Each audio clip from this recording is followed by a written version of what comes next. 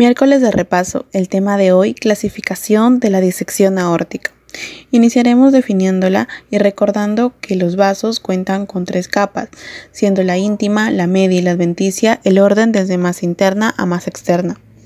Una disección ocurre cuando se desgarra la íntima y ello genera la separación de las capas de la pared aórtica. Posterior a ello se va a dar la formación de un lumen falso que puede o no estar comunicado con el lumen verdadero. En la siguiente imagen observamos una aorta normal y cómo al producirse esta disección o desgarro se da la formación de un lumen falso. En la clasificación contamos con la clasificación de Becky que considera ¿Dónde se origina la disección. En la de tipo 1 se afecta la aorta ascendente y se extiende a la descendente. En la de tipo 2 se afecta solo la aorta ascendente y en la de tipo 3 se afecta solo la aorta descendente.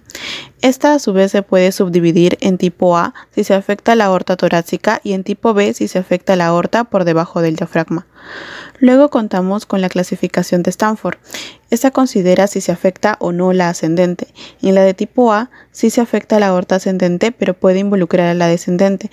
Y en la de tipo B no se afecta la aorta ascendente pero puede estar afectado el callado y la aorta descendente.